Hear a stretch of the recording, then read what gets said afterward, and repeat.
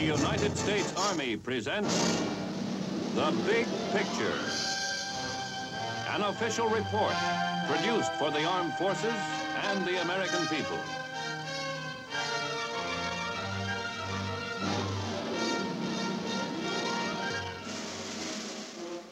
This is Fort Benning, one of the largest and finest military posts of its kind in the world.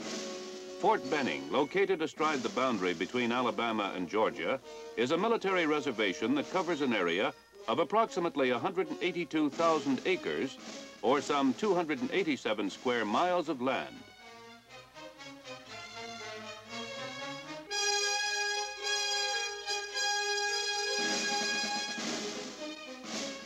Like all military establishments, Fort Benning is a community of people who speak of themselves as a family, the Army family. Yet, like all people, they have their schools, their hospitals, their places of worship, their places of amusement, and their shopping centers. In short, all those services which each of us has come to expect as part of our standard of living.